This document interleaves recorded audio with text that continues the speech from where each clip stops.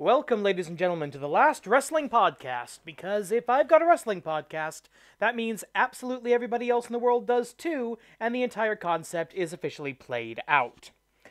Alright, it's that time of the year again WrestleMania! And yes, I am going to be doing a new format for this. It's going to be a live ish review. As I am recording this, I have not seen the show. I don't know what happens. I have been completely avoiding spoilers. I've been off of Facebook, off of YouTube, off of everything. I don't know what's going to happen. I have the show queued up on my computer. I'm going to watch a match, and then I'm going to talk about it. And we'll basically see how long it goes, and I'm going to tell you how long it takes before I have to take a break. Because this is a five hour plus wrestling show. There is no way on God's mostly blue earth I'm going to sit through all of that in one sitting. No way I have, well, I don't really have a life, but I have a job. And I occasionally have to, you know, eat and sleep. So that's not going to happen. And for the first time in the history of the last wrestling podcast, I actually watched the pre show matches two hour pre show. So if you want to see the entire WrestleMania experience, you had to sit for over seven freaking hours. That is way past too long for a wrestling show. All right. Uh, so what I did was I didn't watch any of the commentary or any of the the jibber jabber. I basically cut to what you know. I cut as far as I could to what looked like a match. Uh, the first match was the Andre the Giant Memorial Battle Royale. No entrances for anybody. JR and the King calling the match, which was cool to hear. Um, this was terrible, for the most part. Uh, this was pretty much the Jobber and Tag Team Battle Royal. The one interesting spot mid match that I saw was Goldust throwing R-Truth over the top rope down to the floor, and then doing a dab. Anybody remember when that was a feud people had hopes for? we get down to the final three of the contest, which are Woken Matt Hardy, Mojo, I can't believe he still has a job, Rawley, and Baron the Disappointment Corbin. And the announcers actually pointed out that two of these three are former Andre the Mem- Andre the Giant Memorial Battle Royal winners. Um, don't rub that in. Because where have their careers gone since then? Absolutely nowhere, because they're right back in this, what's supposed to be the, you know, the up and comers battle royal, but what's actually the way to give everybody a, a payday. Um, oh, speaking of which, there's probably going to be some pissed off wrestlers because if you're on the pre-show, you're not getting paid WrestleMania money. There's, you actually don't get your WrestleMania bonus. From what I understand of how the pay system works in WWE, it's incredibly arbitrary. It's stupid, and you basically get paid whatever Vince thinks you are worth. So it comes down to Rawley and Corbin beating up on Woken Matt Hardy. And then the Bray Wyatt uh, video effect hits. Bray Wyatt shows up and Wyatt is now working with Hardy. He has been awoken, he has been cleansed of the spirit of Sister Abigail, which is delightful. I'm not going to do the, the Hardy voice. And, um, yeah, Hardy wins with the help of Bray Wyatt to claim the Andre the Giant Memorial Trophy. I cannot wait to see what Woken Matt Hardy does with that trophy. It's going it's going to have the soul of Andre the Giant in it at some point, I'm imagining. Okay, the next match was for the Cruiserweight Championship Cedric Alexander versus Mustafa Ali in a tournament final. I'm going to be honest with you, I have not been watching 205 Live, despite the fact that I really do like some of the wrestlers on that roster, number one being Drew Gulak. And if you're a Chikara fan like me, you know why. And I'm not going to tell anybody else, because kayfabe. And I didn't know who these guys. I, I knew of these two guys. I didn't know the story going into the match. They seem to both be baby faces to me, which is never really a good thing. You should try to have the face heel dynamic whenever you can.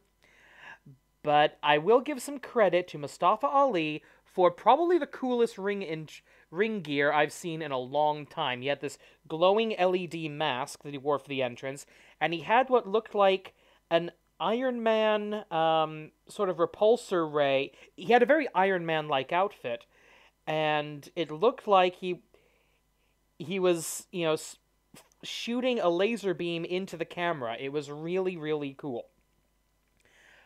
Good cruiserweight action, high flying, some really impressive and pretty dangerous looking spots, and I it was a good it was a good match.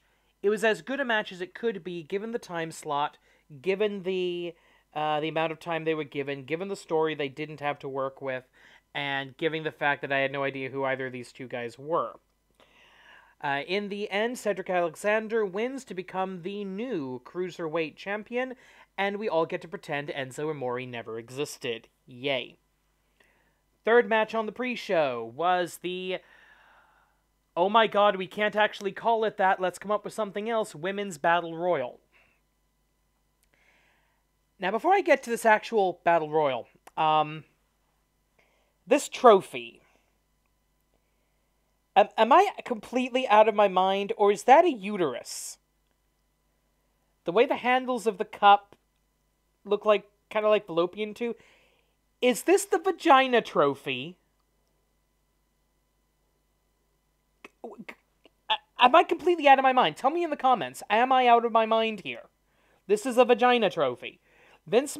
Uh, every time I think they're making progress towards having a legitimate women's division, they do something stupid like this. And then the match happened, and then more stupid happened. Okay, it come there was I think about 20 women, about half of whom were from NXT, so it was pretty obvious that they were stretching to fill out uh, this battle royal. No real surprises from the past in the match. Uh, Beth Phoenix on commentary was very good. Paige on commentary was really, really sad. Uh, Paige just makes me feel sad now. You know, find her something to do that she's actually into, or I'll be honest, pay her to sit home and heal, hopefully. Okay, uh, we get uh, about 20 women in the Battle Royal. It comes down to or it appears to come down, spoiler alert, it comes down to Sasha Banks and Bayley, who have had this are you my friend, are you not my friend thing going on a lot longer than it should have, and frankly, both of them look pretty terrible at this point. So, in the end, Bayley throws Sasha Banks out. She thinks she's won the match. Curiously, the bell has not rung because Naomi, who had slid out of the ring earlier under the ropes, so not eliminated, uh, comes back in the ring and throws Bayley out, and Naomi is the winner of the first uh, Vagina Memorial Battle Royal. Yay for her, I guess, but when is WWE going to figure this out? People want to cheer Bayley. Bayley should be the next John Cena in terms of kid friendly merchandise juggernaut. Guys want to wear the I'm a Hugger t shirt how are you still years into this now? How are you still fucking this up? So they they looked like they gave us the moment that we all wanted and then snatched it away. You can do that as a storyteller. Sometimes you have to do that as a storyteller, but do it too often and the reader stops trust or the viewer in this case stops trusting you to actually have the good guys win in the end. So big disappointment there. Good for Naomi, I guess. And we'll see what the Vagina Trophy does going forward. That's it for the pre show. And from what I've got here, we're. Uh, the first match on the show is for the Intercontinental Championship three way match between defending champion The Miz, Seth Rollins, and Finn Balor. No idea if he's going to be the demon, but it's WrestleMania, so I imagine he will. Alright, now going to watch the match.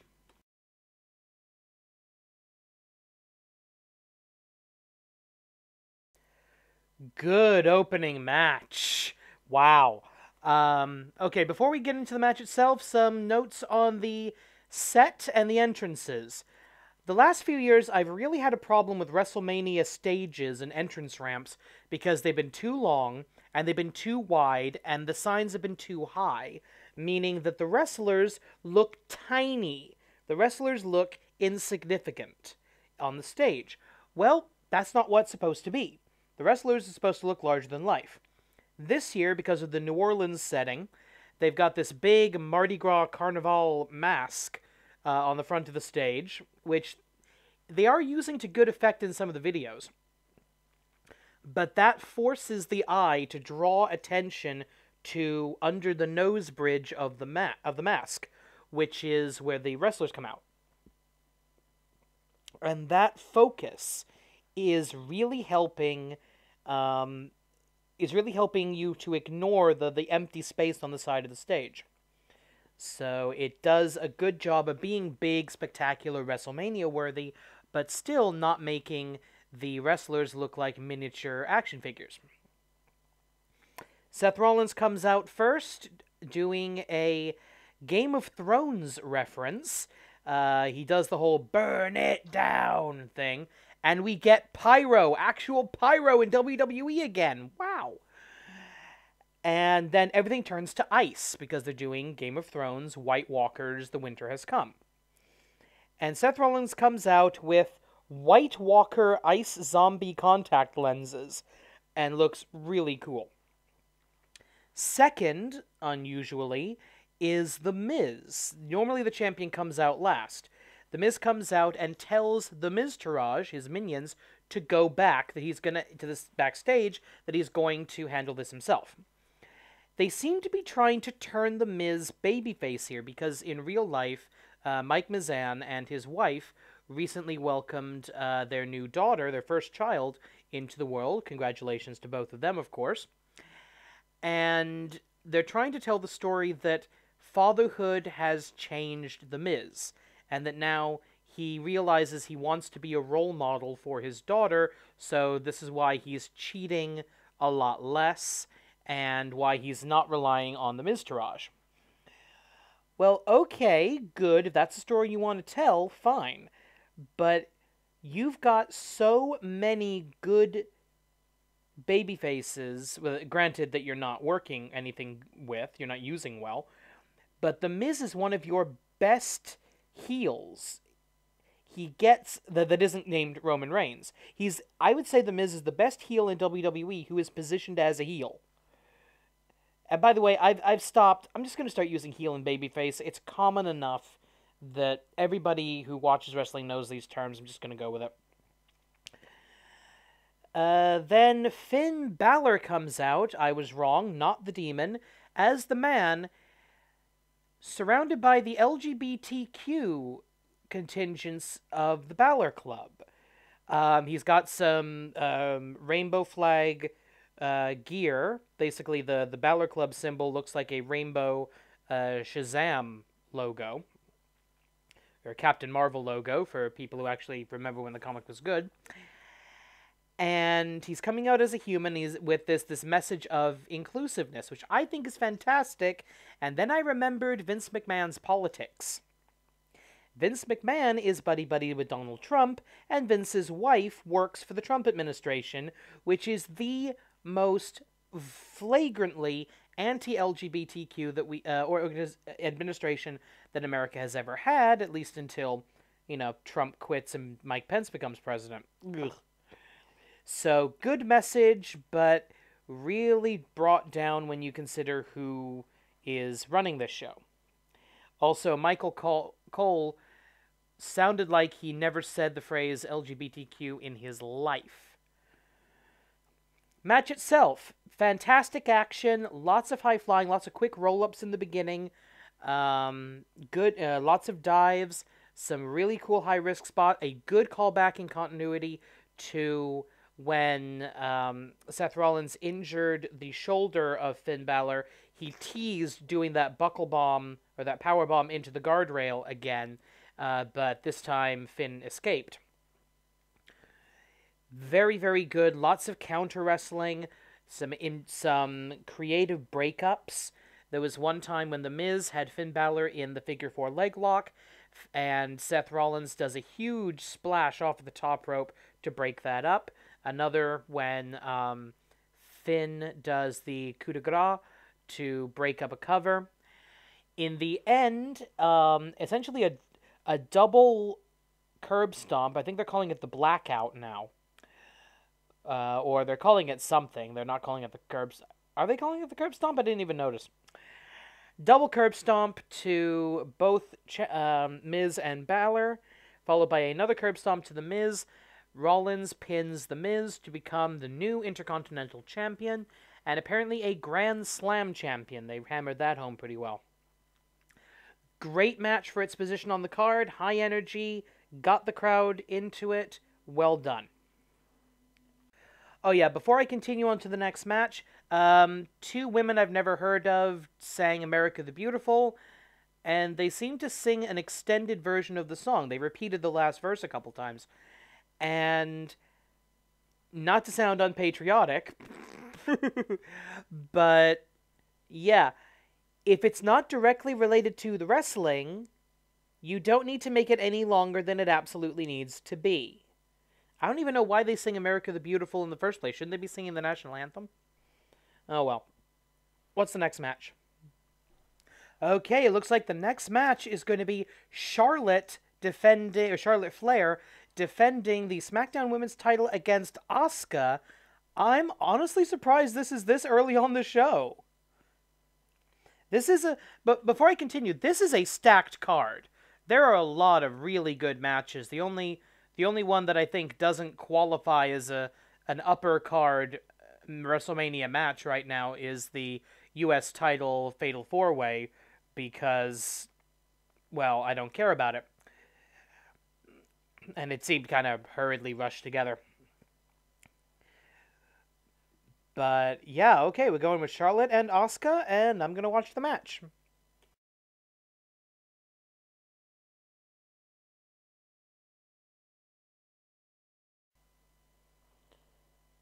Charlotte was ready for Asuka. Wow, I was not expecting that outcome. Charlotte, your winner by submission and still SmackDown Women's Champion. This was a beautiful match. Start to finish, fantastic. The story was so simple, it was elegant. The undefeated Asuka versus the champion she has never faced. Asuka winning the first ever Women's Royal Rumble to get a title shot against the champion of her choosing. She chooses to cross brands to face Charlotte, and I'm so happy she did. It was a wonderful match brilliant. I, I, I don't have enough superlatives to explain this. It was a work of art. You owe it your you owe it to yourself to see this contest. But in the end, Asuka's streak has been broken. And now the question is one, was giving the streak to Charlotte worth it? And two, where does Asuka go from here? She's not the undefeated Empress of Tomorrow anymore. So, you know, can she maintain her aura of badass without the streak? I don't know. I think she can, and I really hope she does. Uh, a couple of details from the match. Some great entrances again. They've been just knocking out of the park with the entrances so far. Charlotte comes out on a throne flanked by three sort of Roman centurions, and I and she starts off her entrance with her father's old theme music. It eventually transitions into hers once she gets off the throne, is bathed in golden light, and makes her way about a third of the way down the ramp. I'm hoping these were references to her father, the golden light referring to the Flair for Flair for the gold. And the Centurions representing a maybe a bit of an in joke to the time WCW wanted Ric Flair to shave his head and put on a Centurion outfit and call himself Spartacus. Yes, that really happened. No, he didn't do it. So, I hope that was an in joke. I really do. Asuka comes out, and they they did this with the Miz as well, what looked like CGI projections in the arena. Were those holograms? Were those really there? Because I, I don't think so. I think they were just CGI'd in. But, you know, hologram technology to these days, you know, you can almost think they could get away with it. Uh, Asuka comes out in a jeweled version of her Noh mask of feminine serenity. And yeah, that was pretty cool, but she didn't get other than the the laser projections and the mask projections, which I don't think the people in the arena saw. Please let me know if I'm wrong about that. And she it was I, I, I can't get over how good a match this was. You know, Charlotte with one arm bridging up into the figure eight to win the match. A super in the AWL I call I would call it a super endless light, super Spanish fly, uh, off of the top rope. V- incredible for a women's match. Um, just this was excellent storytelling. Two athletes desperate to prove themselves, desperate to prove who was the best. I I cannot heap enough praise on this. I loved it. Now, after the match, we had a little bit of an angle because as Charlotte is make oh, two two things happened after the match. One, Asuka got on the mic and said what I started the segment with. Charlotte was ready for Asuka, and congratulations.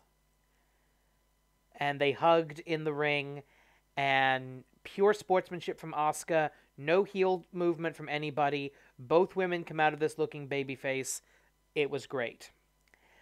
Uh, the question is now, what's next for Asuka? The second angle that happened, as Charlotte's making her way up the ramp, a referee runs down the side of the ramp like a bat out of hell and runs past the ring over to where John Cena was. Uh, throughout the show, John Cena's been sitting.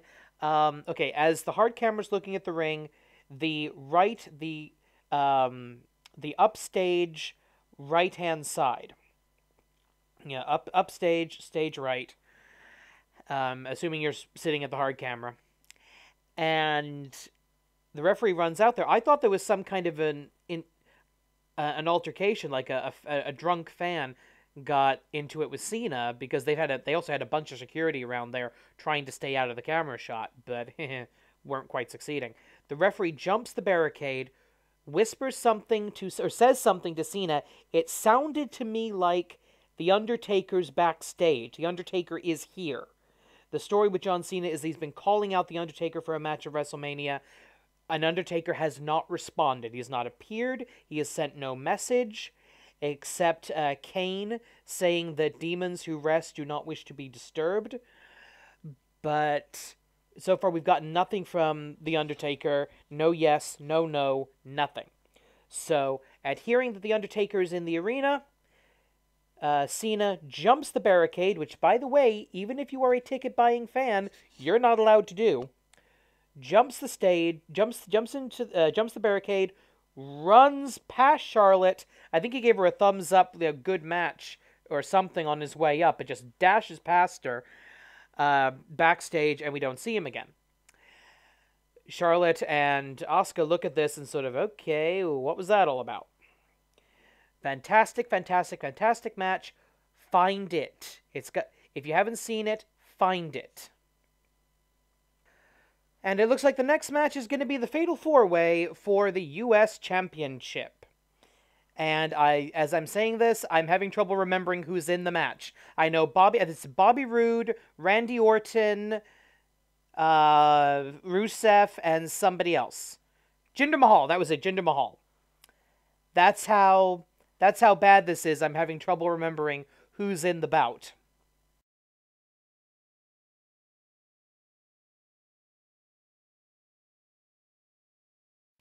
Well, that was certainly a match that happened. Okay, um, well, let's just go through it. Entrances. Pretty much everybody got their standard entrance. Uh, so, once again, Randy Orton gets shafted on the WrestleMania super entrances. He's made some public comments about that in the past that he never gets the big elaborate entrance. Sometimes he gets to walk down the ring looking like he's riding a giant sperm, but he never gets a cool entrance. Well, that continued. Uh, result of the uh, basically this was a paint by numbers match. Everybody got their stuff in, and everybody got their moment to shine, and in the end, somebody won. And that somebody was the modern day Maharaja, specifically Jinder Mahal. And I don't know where they're going with this. The Jinder Mahal experiment was a colossal, or colossus, or coloss, or whatever he calls his finisher, failure. It was a terrible idea. They shouldn't have done it.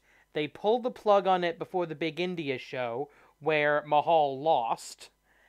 And no, I'm sorry, it's just not working. You want to have an Indian superstar to, you know, expand into that market. I get that, but he was a terrible heel.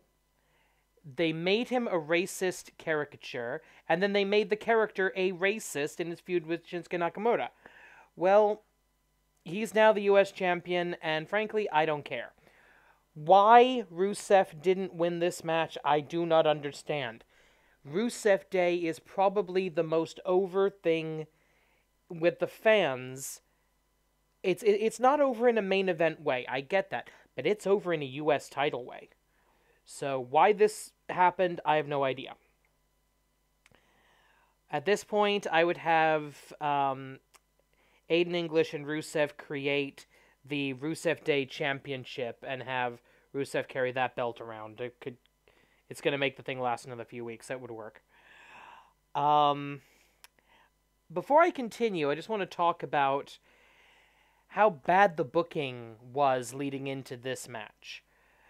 Because this was pretty much the exact same match as the triple threat for the Intercontinental title, only with another guy in it. And a guy that it felt like they were adding to the match almost out of you know, obligation, and that being Rusev. I do wonder if the Raw and SmackDown writing teams ever talk to each other and say, you know, hey, we're doing this story, you know, this is what we're doing. Would you guys mind mind not doing the exact same thing for at least a couple of months? And I don't know if they do that. They don't, they should. The match wasn't exactly a stinker, but this could have been the main event of any given episode of SmackDown. There was also a commercial after the match, a Fashion Files Mick Foley Snickers commercial that was actually kind of funny. Credit where due. Alright, what is next on the agenda?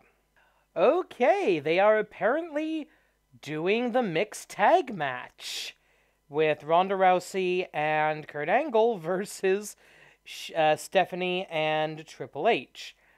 I honestly did not expect this to be this early on the show. We're barely let me check the time the timeline here. We're like an hour and 20 minutes into the show, which means we've got like 3 hours 50 left or something like that. So, yeah, I'm shocked this is this far down the card. Um okay, let's see if uh, before I, before I start, before I watch the match, I wanna I wanna speak out against a lot of the internet wrestling community here. I have been loving Ronda Rousey.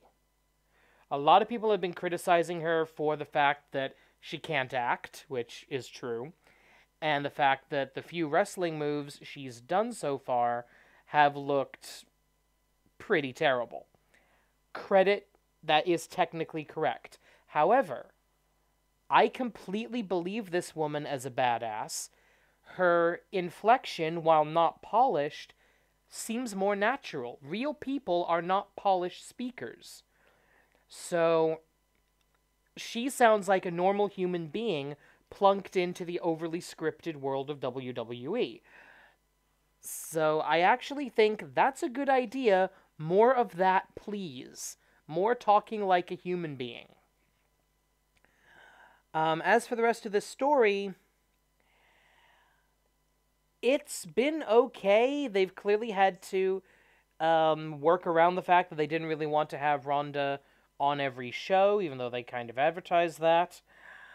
Um, the uh, they've got to hide. They there's so much they've got to hide around here.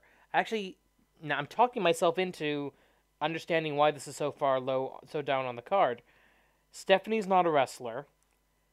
Triple H is still able to go, but he's into the Undertaker, Shawn Michaels wrestle once a year category.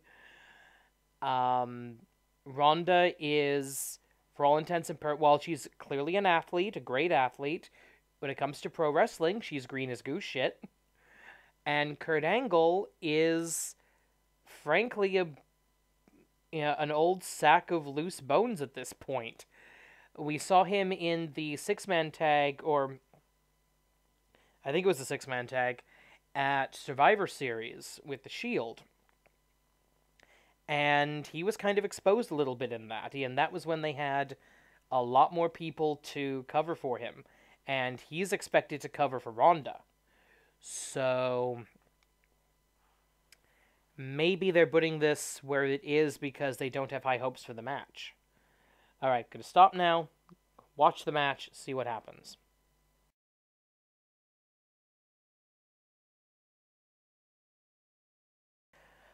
That went a hell of a lot better than I expected it to. Okay, that was not a wrestling match, that was a magic show. A lot of tricks, a lot of smoke and mirrors, covering for the fact that, mm, frankly, nobody in this match was a good wrestler. Uh, the first half of the match was okay. First, I have to set up the uh, the entrances. As one might expect, Triple H and Stephanie got the cool entrance, whereas Rouse, uh, Ronda Rousey and Kurt Angle got the normal entrance. Uh, Triple H and Stephanie coming down as part of a biker gang, and there was a horrible moment right as the song was playing, and uh, Stephanie and Hunter were in the back of the biker gang, the sort of Amazon brigade, and Triple H starts to fumble with uh, his bike, and it looks like the bike had uh, had stalled or had shut off or something and I was thinking, oh god, the girls are gonna ride down, and then the other two are gonna have to get off and walk. That's gonna be fun. Fortunately, that didn't happen. The bike went, the bike thing went off without a hitch, and it looked really cool. I love the laser, the ring of laser effect um, on Stephanie and Triple H when they were in the ring. I thought that was I thought that was great. Again, when they've decided to go full out with the entrances, they've been nailing it. Uh, you know, there has not been a single Randy Orton snake sperm the entire time. Kurt Angle comes out and gets pretty much his standard entrance, but considering he's a nostalgia act, that's kind of a good thing. Uh, he actually even got his pyro back. Yay. I'm going to be harping on the pyro thing because I know it's expensive, but it adds so much to the presentation of the show. I just. I don't know why they got rid of it. It's dumb. Okay, so Kurt comes out, Rousey comes out separately, and she came out to her what I guess now is standard bubbly, bouncy, um, almost Bayley esque uh, Rowdy Roddy Piper tribute, which was fine, but for the match itself, for the big match, I would have given her more of an MMA entrance. I would have had I would have had her, you know, in the robe with the hood. You can do the you can do the jacket, you can do the the tartan skirt, you can do the Piper tribute, but I would have had her in game mode, in fight mode from the word go, and have her flanked by a posse. And you know what? Bring in Shayna Baszler, the new uh, NXT Women's Champion. Have her show up as uh, as a second. Uh, have the, the the Rousey camp, you know, maybe for real. Have her have her people show up as her escort, like you do in MMA. But for what they did, it was okay. Match itself, the I liked the opening was basically Triple H and Stephanie cheating around the no intergender uh, contact. I'm not a fan of this. If you're going to have mixed tag matches, it needs to be equal rights and equal fights. The men get to wrestle the women, the women get to wrestle the men, and vice and and all of that. But under WWE mixed tag team rules, the men wrestle the men, the women wrestle the women, and never the twain shall meet. In fact, a tag on one side is an automatic tag on the other. Well, that did add to the drama here because that was the rule that Stephanie and Hunter were regularly breaking the entire bout. Um, so, okay.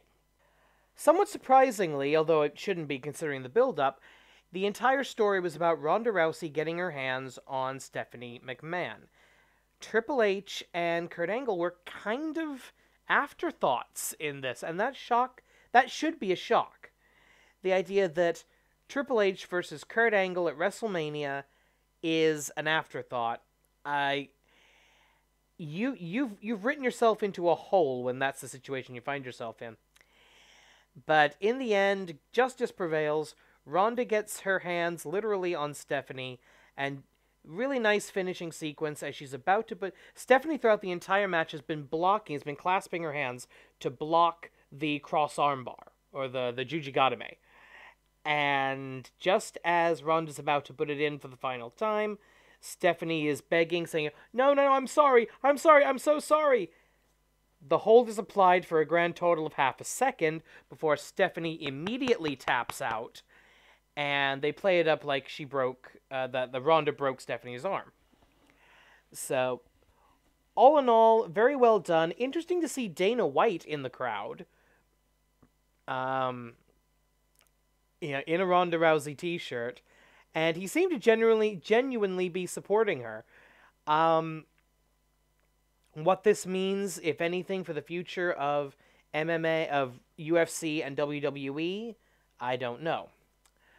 But all in all, a lot of smoke and mirrors, not a lot of wrestling skill, although Ronda surprised me. She was still, like I said earlier, green as goose shit, but she didn't look like she was having her first match. And credit where due, they got it. They managed to get this out of her. But much like with Asuka, I don't know where they go with Ronda Rousey from here what I mean, okay, her next obvious feud is to go after Charlotte. But as far as I can tell, she's a Raw wrestler. Now, are they planning a superstar shakeup, draft, brand, you know, whatever they want to call it? I don't know. But I'm not looking. I'm not really interested in Ronda Rousey versus Alexa Bliss, assuming Alexa's still champion at the end of the night. Ronda Rousey versus Nia Jax. I'm not horribly into either. Uh, but Ronda Rousey versus Charlotte Flair, that I could get into. I could see Stephanie firing um, Ronda as out of spite, and she and her saying, "Okay, um, well, I figured you might do that, so I called your brother, and I've got a nice, uh, cushy contract waiting for me on SmackDown, and uh, he's paying me more than you are. So, bye." I don't think Ronda Rousey would actually say bye. All right, um, I'm gonna I'm gonna call it for right now. I'm gonna call this part one. I don't know if I'm even gonna actually split the thing up into multiple videos. I might, I might not, but I need to take a break because checking the video here, we are about two hours into the show, three hours fifteen minutes to go, and I'm I'm starting to fade. You can probably hear it in my voice. Uh, I'm going to come back to this as soon as I'm ready to watch more of the show, and uh, see you then. Of course, no time will pass for you, but uh, I may be distinctly older. see you soon.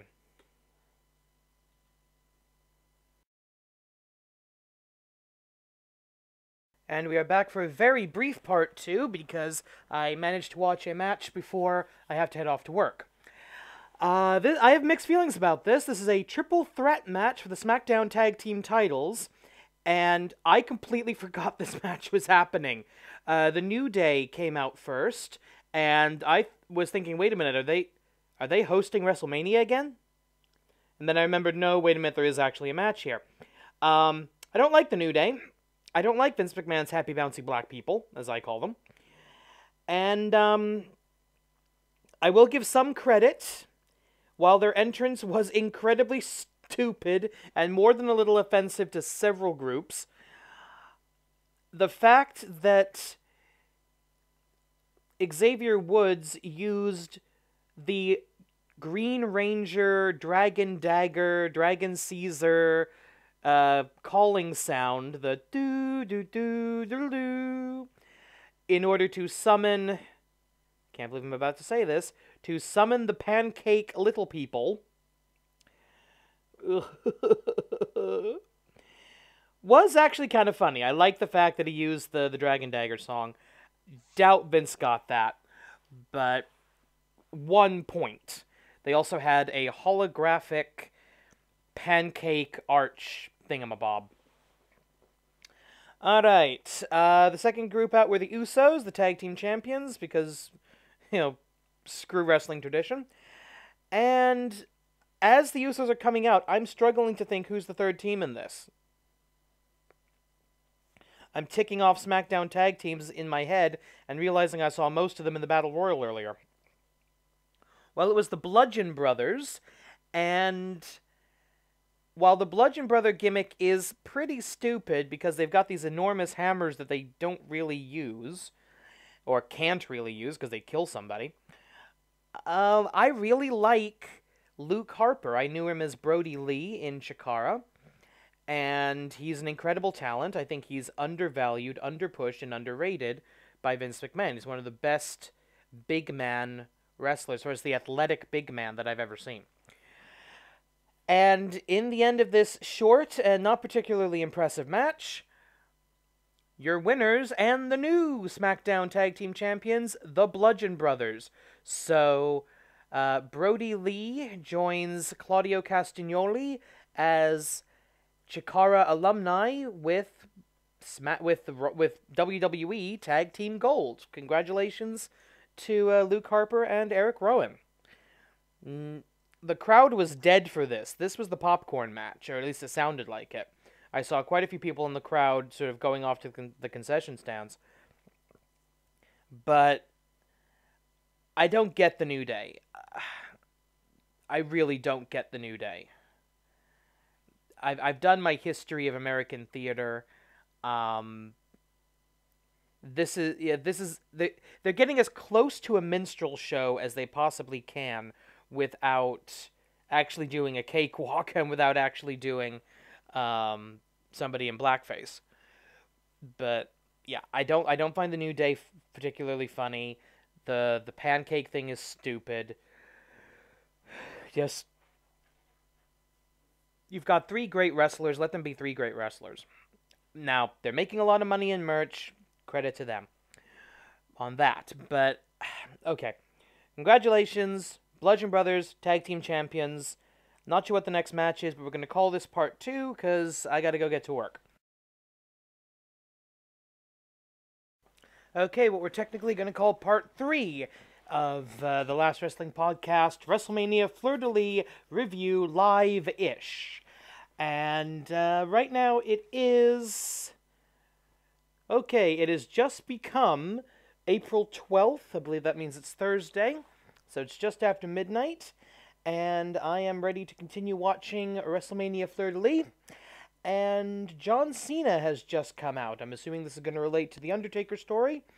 So I'm going to watch whatever this angle turns into, and then I'll be back to talk about it.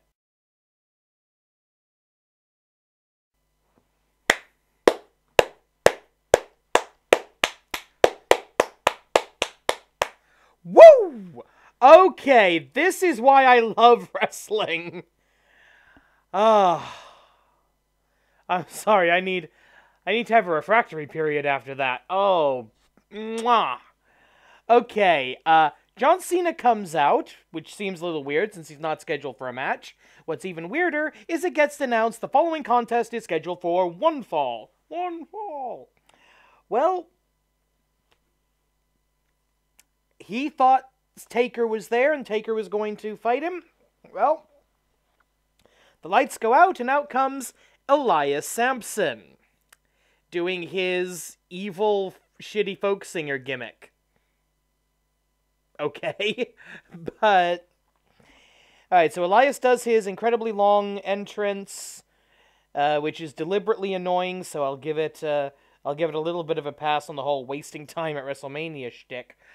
But uh, very very quick, not even really a match. Uh, John Cena goes back to his seat. Elias insults him and insults the crowd. Cena comes back in, uh, delivers uh, an, an Alcoholics Anonymous, and that's pretty much it. So Cena is walking his way up the ramp when his music cuts out. He looks around for a second, and then darkness. Crowd goes nuts. Lights on in the ring, and the Undertaker's hat, cloak, and boots are sitting in the ring. A little bit of a continuity error because he didn't take his boots off at WrestleMania uh, last year. But that's the last we saw of the. By the way, for this, we're all going to pretend that Raw 25 never happened. Okay? Whatever the hell that Undertaker promo in the Manhattan Center was supposed to be, that never happened. Let's just all agree to that right here, right now. This the last time we saw Undertaker was WrestleMania last year. He appeared to retire, took off his coat, took off his hat, left his gear in the ring. That's an old, old, old sign that a professional wrestler is retiring when they leave their gear, most typically their boots, in the ring.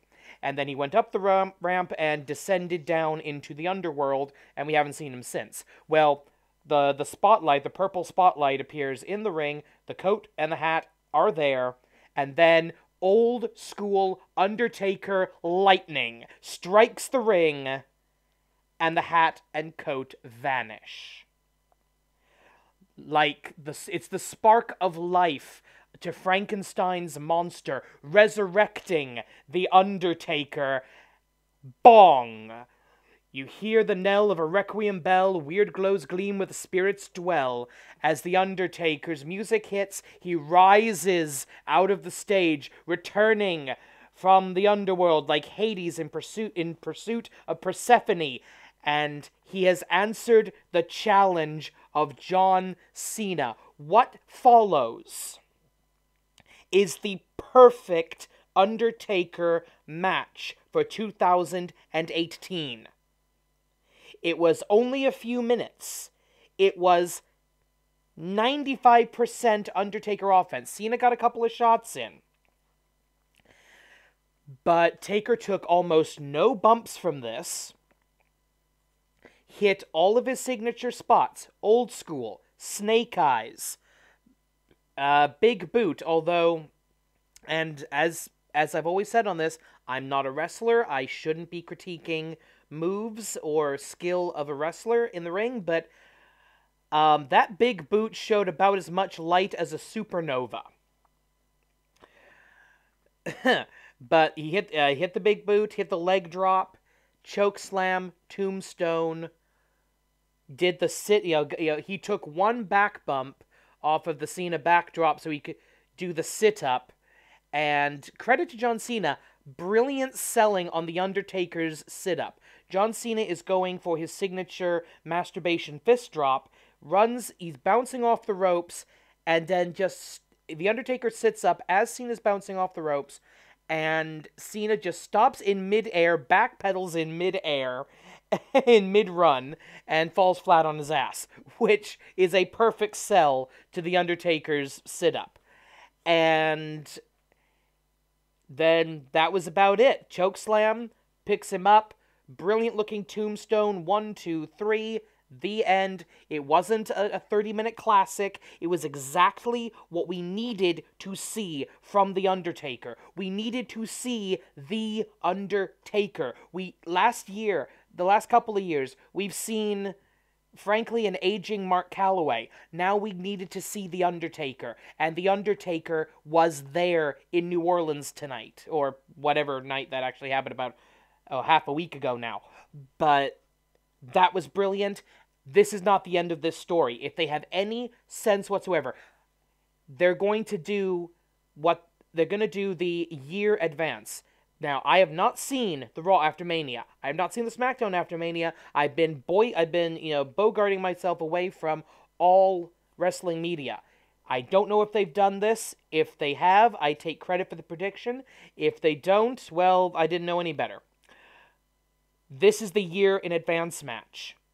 Book it a year in advance at WrestleMania technically 35 or WrestleMania, whatever visual symbol they choose to use, it will be John Cena versus The Undertaker at WrestleMania and have some and I would make this Taker's last match. Have some sort of, you know, mutual career on the line stipulation or maybe uh, I'm hesitant to say this, but put the title back on John Cena, have him break Flair's record because it's not his real record, and say it's title versus career or career versus career, something like that.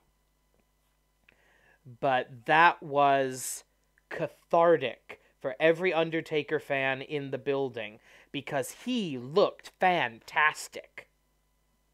He looked like The Undertaker. If I'm anywhere near that mobile and that athletic at that age, I will consider myself a very, very lucky individual. All right, looks like they're transitioning to the Hall of Fame and uh, recap. I didn't actually see the Hall of Fame show, so I don't really know much about that. Uh, just running down the Hall of Fame class, uh, nobody who really stands out as unworthy. Uh, Goldberg was a big deal in the biggest part of, uh, and really the biggest boom in the history of wrestling. So he deserves to be in. Whether he deserves to be the headliner, I don't know. It was kind of a weak class. Uh, the Dudleys, they've worked everywhere. I've gotten to see them live. I've been literally a foot away from Bubba Ray, who is far larger than he appears in the WWE context. Um, he, uh, he was actually at a show at Korakuen Hall that I, I saw a couple of years ago. And yeah, they're a great tag team, the most decorated tag team in history. Things a bit um, a bit odd for me, but uh, they're a great tag team. They certainly deserve to be in. Mark Henry, obviously, uh, you know, 20 year damn near veteran, so he's in. Jeff Jarrett was the big surprise of the season of, of, of the class, but if you if you count what he did in TNA, the fact that he created the closest thing that WWE has had to competition in the last 15 years, even though they weren't real comp- really much competition, then yeah, okay, I say I he does deserve it. And if nothing else, the Jarrett family deserves to be in the Hall of Fame. Um, Ivory, you know what? Nostalgia, okay, she's in. Um, she was the serious women's wrestler when I when I first started watching. She was the one who was fighting against the whole bra and panties, wrestling in you know pools of pudding crap. Um, didn't succeed, but I kind of like that about her. So borderline on whether or not she deserves it, but far and away the best thing to ever come out of Glow. So okay, fine, she's in. Um, Celebrity Wing, the Kid Rock. Mm, at least he's got more of a he's got more of a connection to wrestling than half the people they put in that wing. So whatever. Uh, Warrior Award. I'm not gonna heel on a kid, but yeah, the Warrior Award needs to not exist. The Ultimate Warrior was a terrible person. And they can say, oh, no, no, no, no, it's the character, it's the ideals of being a warrior. Yeah, no, sorry. As as long as you have the the Ultimate Warrior face paint logo on the trophy, it's about the Ultimate Warrior. And yeah, he was a terrible person. So screw this. And also, it's not what he wanted the Warrior Award to be. The Ultimate Warrior wanted the Warrior Award to be about the guys backstage, the people who make WWE work behind the scenes. This is where Vince's limo driver gets in. This is where Jim Johnston, who wrote all the music you've ever liked in wrestling, that's where he goes in. This is where Kevin Dunn goes in. This is, uh, you know, etc. But no, they decided to make it the Charity Pandering Award, so Shoganai. Nothing we can do about it. All right, I'm, I'm going to watch the recap, and then if there's anything else, I'll, I'll mention it, but uh, we'll move on to the next match. Okay, quick note from the recap I forgot about Hillbilly Jim. Uh, no, I don't know if he really deserves to be in there or not. He's from way before I started watching, so no comment. Seems like a nice guy. Good for him. Okay, now that I actually see him, I kind of like that JJ Darius kid. He looked fun. Um, I love that the Dudleys put the guy that tried to tell them to give him the wrap up cue. I love they put him through a table. Fantastic. Another quick note why the hell isn't Howard Finkel announcing these people? For that matter, why the hell isn't Howard Finkel announcing everything? Okay, uh, are they planning on having Goldberg come back for another run? Because I think they're planning on Goldberg coming back for another run, and I do not think that is a good idea. He went out as well as he could possibly go out. So I do I do like the fact and I hope it's true when he said in his speech that he's found a love for what he does in the WWE and in WCW as well because he will he was he has a reputation for being the guy who well frankly didn't really like wrestling all that much and wrestling is so it's so damaging to your body it's so it's such a commitment of your life that uh, I, I equate it to teaching in some ways that if you don't love it, you should not be doing it. So, you know, I really hope Goldberg has found a love for professional wrestling. Okay, okay, up next, the match I didn't think was going to happen. Daniel Bryan is back, along with Shane McMahon, versus Kevin Owens and Sami Zayn. This is incredible. If you had told me a few years ago that there would be a WrestleMania match featuring the American Dragon Bryan Danielson, Mr. Wrestling Kevin Steen, and someone who looks suspiciously like El Generico, um, yeah, I wouldn't have believed it. But okay, um, I'm worried going into this match. I haven't actually watched it yet. Bryan I understand he's been working on a new in-ring style that will protect his head and neck, where it's more tumbling instead of, you know, flat bumps. I hope that is the case. Shane McMahon coming off of apparently a bout with diverticulitis, which is very serious, nothing to laugh at. But I'm so I'm worried about though both of those guys in the ring. But Owens and Sami Zayn, I would uh, I would trust them to to protect their opponents. And so we're going into this match eyes wide open. Uh, the stipulate this is a tag team match. The stipulation: if Kevin and Sami win, then they will be reinstated as WWE competitors, superstars, whatever. Uh, they were fired by Daniel Bryan on SmackDown a couple weeks ago, apparently, as part of the setup for this and hopefully this will be the end of the feud between Owen Zayn and McMahon Bryan, and hopefully whatever tension they've got between Bryan and McMahon that they've been building for what seems like about 40 years now, hopefully that's all going to get blown off here because I am really, really, really sick of this. It's why I haven't been watching SmackDown.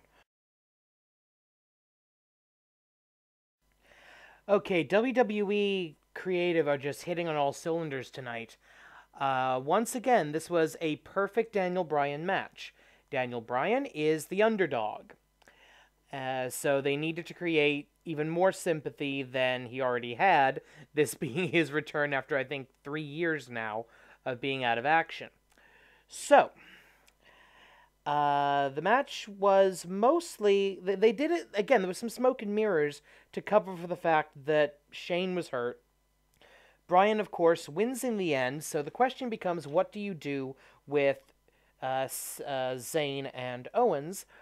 I would just have them move over to Raw. They've been fired from SmackDown, but the authority figures on SmackDown have no control over Raw. So that's the easy solution there. Uh, for as as for what do you do with Daniel Bryan going forward?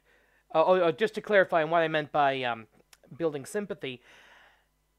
Owens and Zayn attacked uh, before the bell from behind through the crowd, which perfect is, exactly what you should do for that.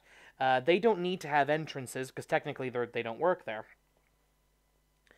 And they power bombed Bryan against the ring apron which is good because that's a shot to the back, not the neck. uh, two on one with Shane for a little bit. Bryan comes back in, hits all of his signature spots, finishes uh, Sami Zayn, I believe it was, off with the uh, the flying knee and the yes lock for the one, two, three. Short, sweet, simple, very, very good. Exactly what it needed to be. The uh, the baby, the uh, the underdog hero overcoming the odds. Uh, credit to the the heel work by Owens and Zayn, because throughout the match they were yelling loud enough to be picked up by the mics that this is your fault. Why are you making us do this to you? Why are you hitting yourself? Why are you hitting yourself? Why are you hitting yourself? Great sort of bully trying to justify their actions work by by these two. Well done. Now the question is, where do you go with Bryan from here? Um, obviously, he doesn't need to be SmackDown commissioner anymore or SmackDown general manager anymore. Uh, presumably, they're going to come up with a new general manager either this coming week or or the net. Well, it's already aired, and I don't know what happened, but they need to come up with a new with new authority figures for SmackDown. I think we are firmly in the era of the special attraction for Daniel Bryan. He does not need to be wrestling every week. He needs to be very smart about what he does. Oh, and by the way, when I said he did all his signature spots, you know what he didn't do? The stupid headbutt. Honestly, if if I'm working in WWE right now, I tell Daniel Bryan, if you even tease doing that headbutt again, you are fired. And even worse, I'm going to make you sit home the rest of your contract. You know, just actually no, I wouldn't even I wouldn't even pay him. No, no, no, no, because he sits home, he gets paid. If he does the flying headbutt again or even teases it, he's gone. I yeah, I would instruct the referee to shoot stop the match, and say, okay, that's it, he's out. That's how serious they need to take this. WWE, I think they've got some, they've got something with Bryan. The the entrance that they did for him with, I'm what I'm guessing was Vanguard One. um, I think it's actually the same graphic package. Followed by uh, a bunch of people around the world doing the yes chant, and that sort of transitioning back into Daniel Bryan. I thought that was excellent. Again, they when they decide when they have decided to do special entrances, they've been nailing it. It was very, very well done. Okay, next match. next match, I say at 1.30 in the morning, is for the Raw Women's Championship. It's Alexa Bliss defending against Nia Jax. And the story is very simple.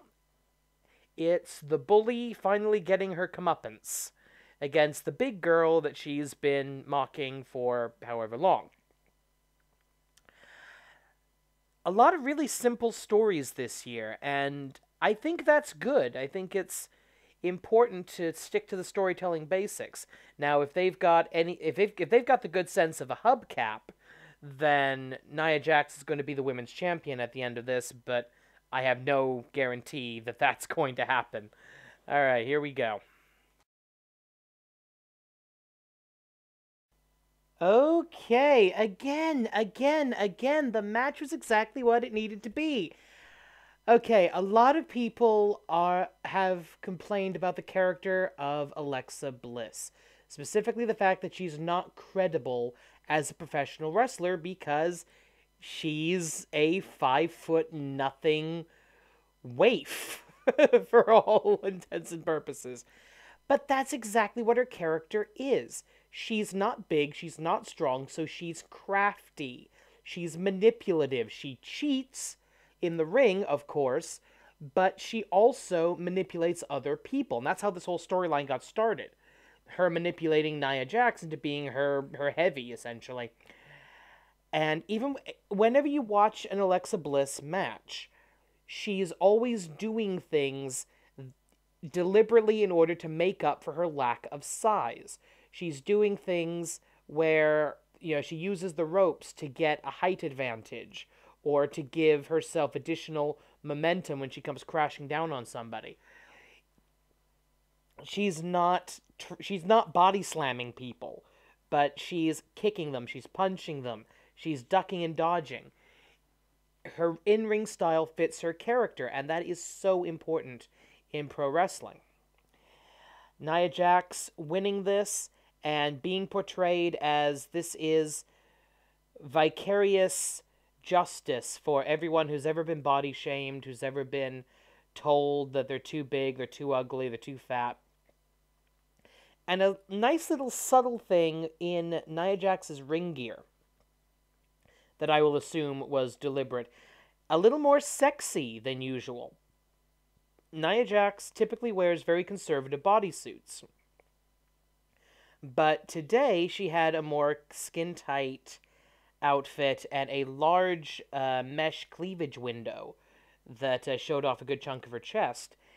And I like to think, I want to think that this is the character sort of owning her body, owning her sexuality, because you know she's a big girl, but she is a very attractive woman.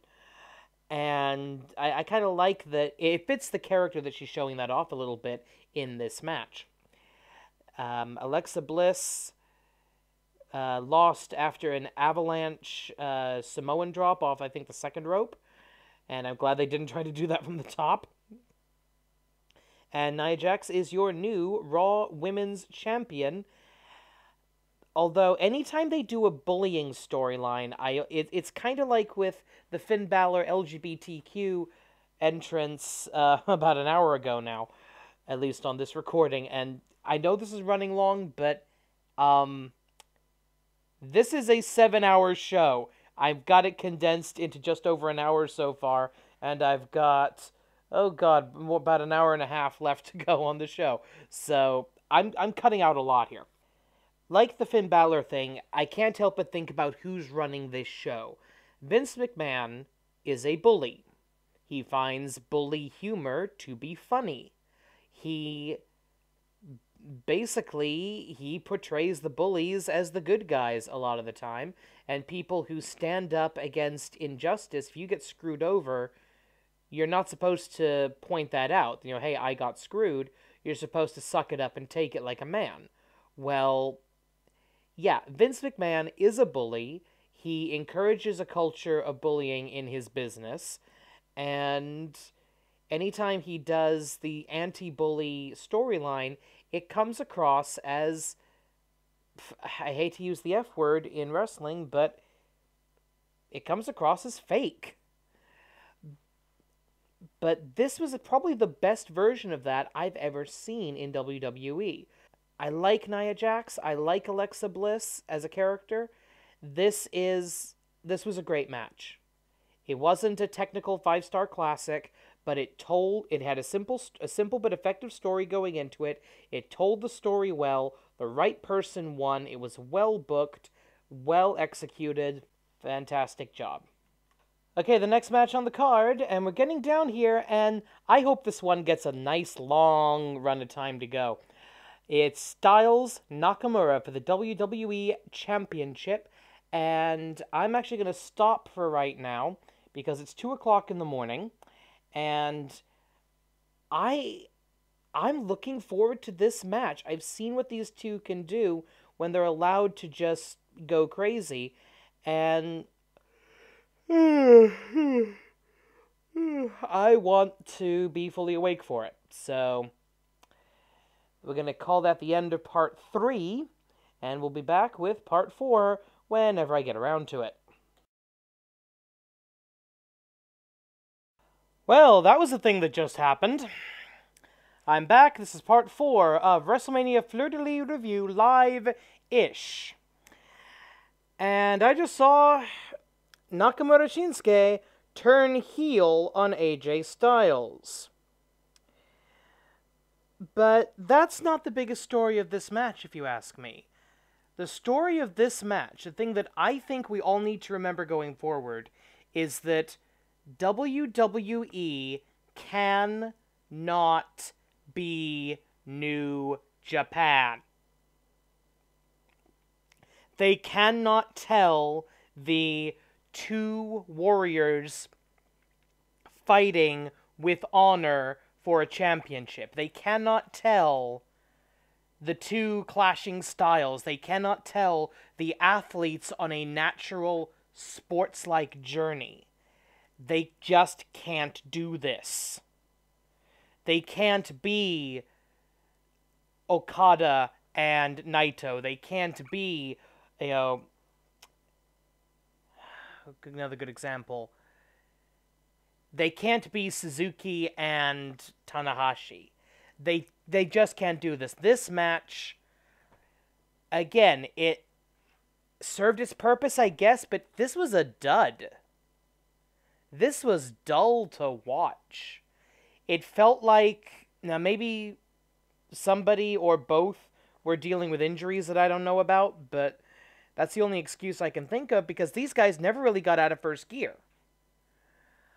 Um, it was kind of back and forth. There was a long spot in the middle where AJ had the uh, the calf crusher, as they call it now, and Nakamura tried to get out of it. AJ rolls him back into the center of the ring. It was okay. The finish was pretty inventive.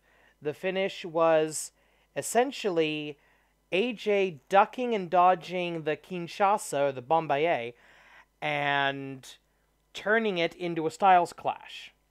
And I thought that was a pretty good counter. I love when one finisher gets countered into another. So credit there. But the entire the entire match was leading up to what happened after the match. AJ Styles wins uh, after off of a Styles clash. Nakamura, in what appears to be a show of sportsmanship, respect, honor, etc., he takes the belt from the referee, genuflects, gets down on one knee, and presents the championship to AJ Styles, essentially acknowledging, Tonight you are the better man, you have earned this holy prize. But that was just a setup for him to punch AJ in the nuts. Nakamura proceeds to beat the crap out of AJ, who's left lying as AJ leaves. Uh, sorry, as Nakamura leaves the arena. Huge disappointment. Uh, I can't help but think that if Gedo had been booking this match, if New Japan had been putting this match on, this would have been a hell of a lot better than it was. It was an afterthought from the word go. It. I mean, yes, they gave Nakamura the, the Royal Rumble victory huge. Never thought they would do that. I'm guessing they had this heel turn planned all along, and that's the only saving grace I can think of for this match, is that this is part one of the story, because Vince doesn't know how to tell the I don't hate you, I respect you, but I want to prove that I'm better than you. I think I'm the best, you think you're the best, you've got the title, that means you're right, and I want to take it from you. I, I bear no ill will against you, but we are both professional athletes, we are both fighters, we are both wrestlers, we each want to be the best, and whoever has that belt, they're the best. You have it, I want to take it from you, let's fight. Fighting spirit, let's fight with honor, let's prove who is the better man. Vince doesn't know how to tell that story. So, yeah, uh, so far with the U- U.S. title Fatal Four Way as really the only competition, worst match of the night. But hopefully it will be redeemed in history as we go forward with this uh, Nakamura heel turn. And hopefully this is just the first act of the story with him and AJ Styles. Because I know these two are better than this.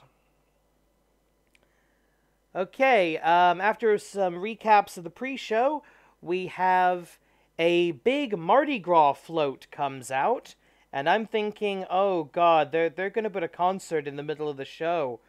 Oh, oh god, oh god, no.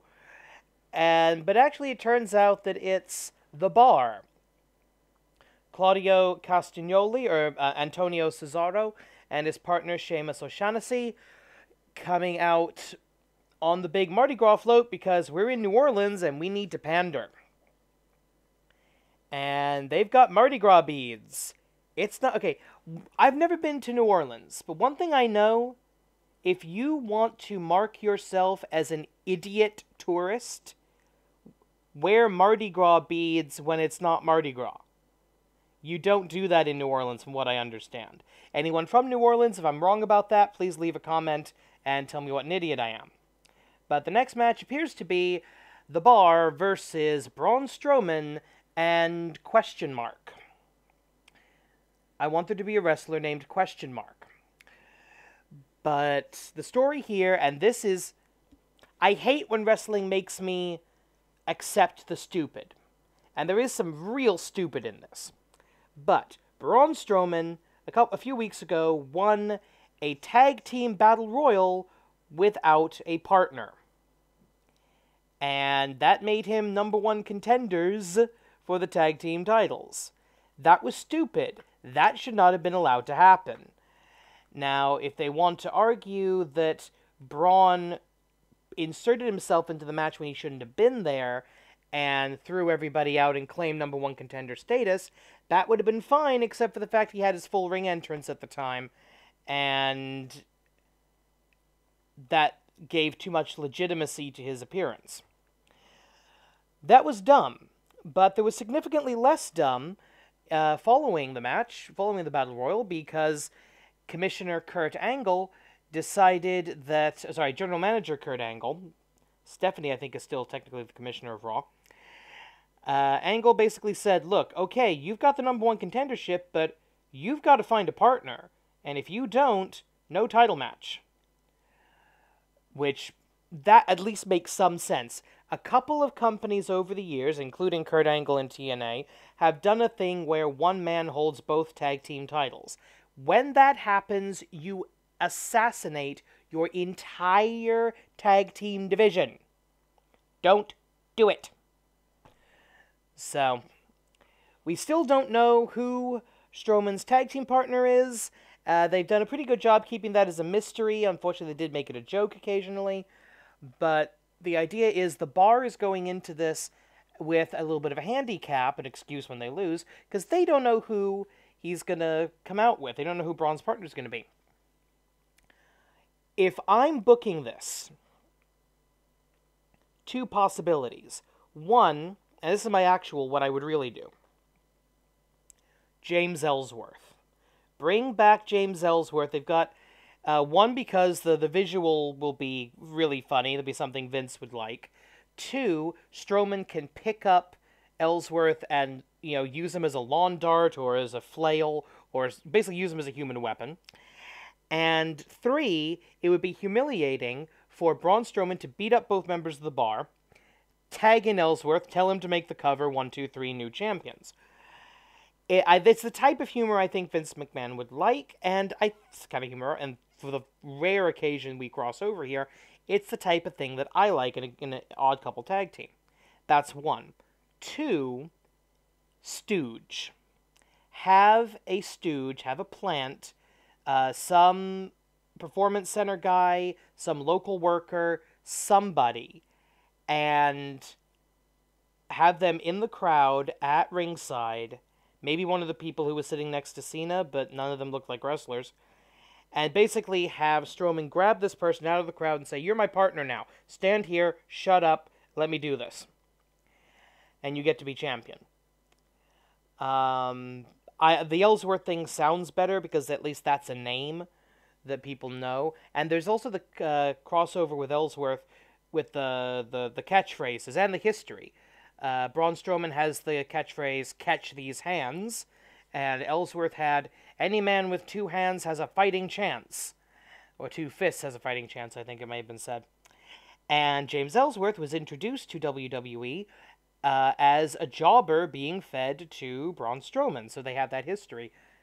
And actually, the more I talk myself out of into this and out of this, uh, yeah, go with James Ellsworth. Don't do the Stooge. That unless you're unless you've got a new character you intend to introduce, like Santino Marella uh, winning the Intercontinental title when he first uh, uh, the Milan Miracle. And actually, even that didn't work. They had to make him a comedy guy. So yeah, James Ellsworth is my prediction and what I would do if I was booking this. So here we go, Mardi Gras float. Yay. Okay, stop right there. Bar comes out, they're throwing Mardi Gras beads because they're idiots, but Corey fucking Graves just made the joke if this is how we're doing it, then bring me a hurricane. Dude! Go to hell! I know you're a heel, but fuck you. I swear to God I didn't know that's what they were gonna do. Okay, um... It's a kid!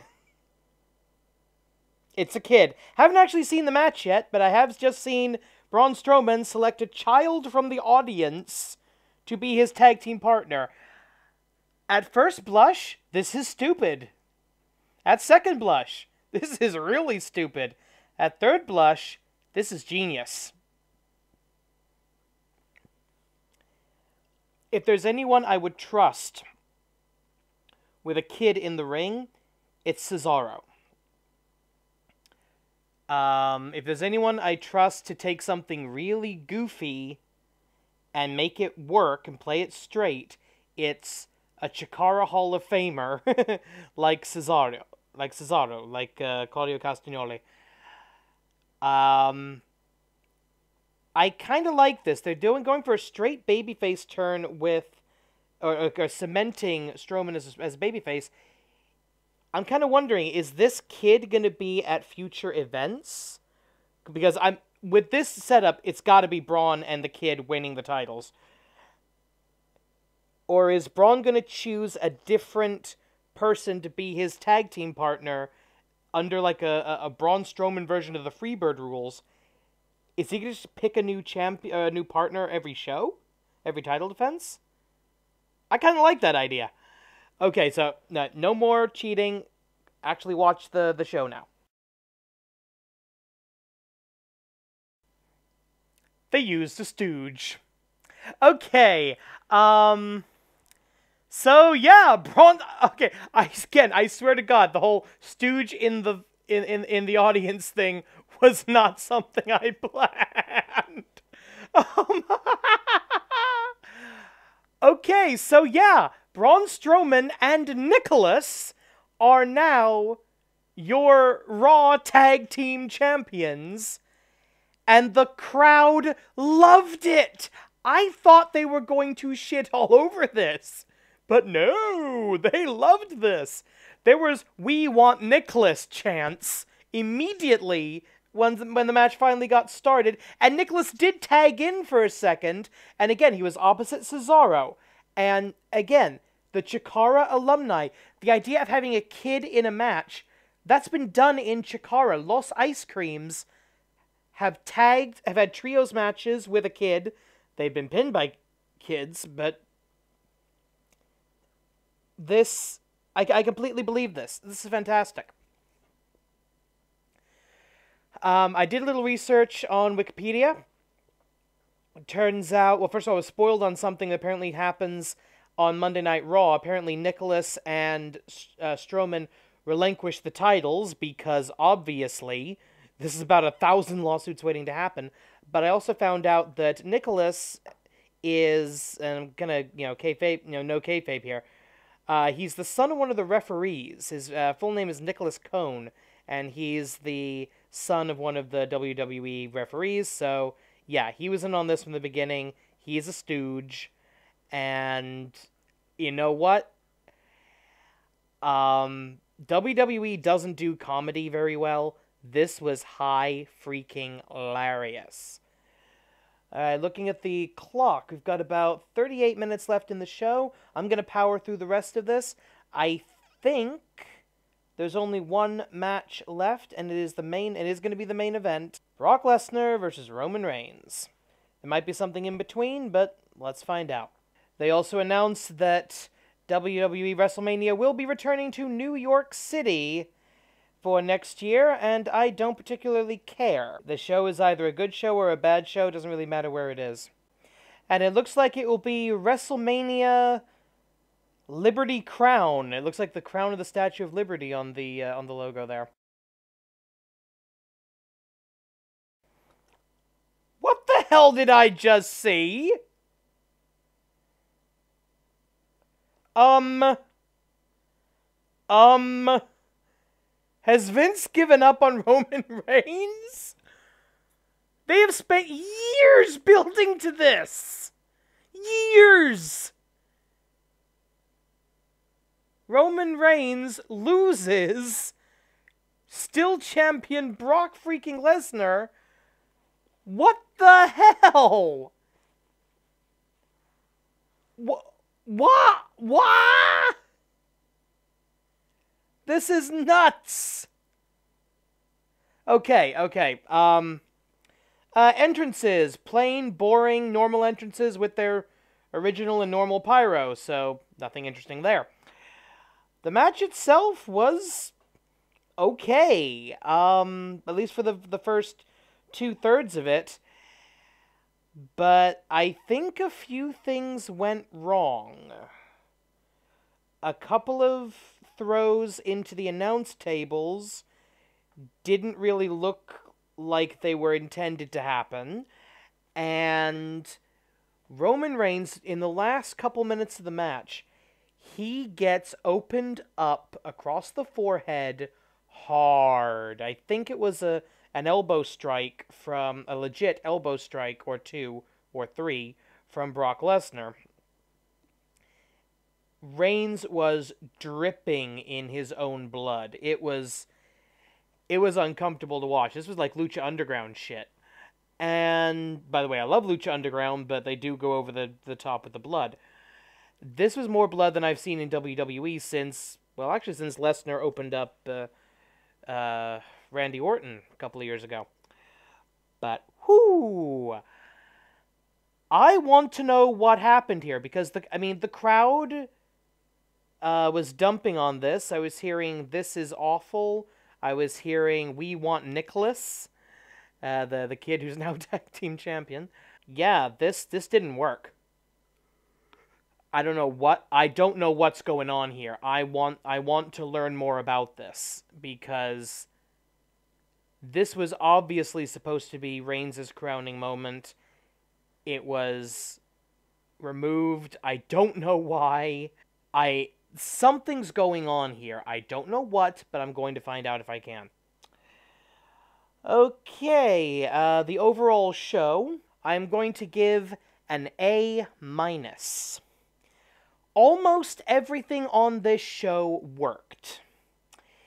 Um, it loses, by the way, the top rank is A plus.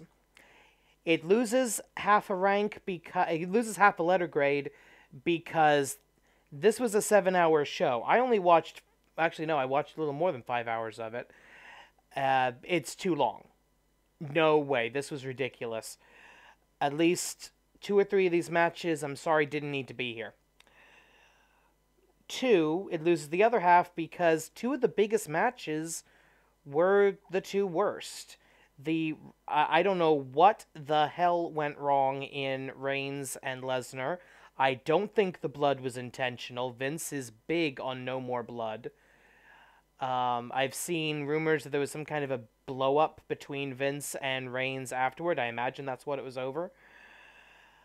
Uh, and the Shinsuke Nakamura AJ Styles match wasn't as good as it should have been all in all, almost everything on the show worked. Unfortunately, the few flaws that we had were big ones. The two title matches were duds. The U.S. title match didn't need to be there. Um, I don't know if this was the right time to end Asuka's streak. I'm intrigued by what's going on with The Undertaker.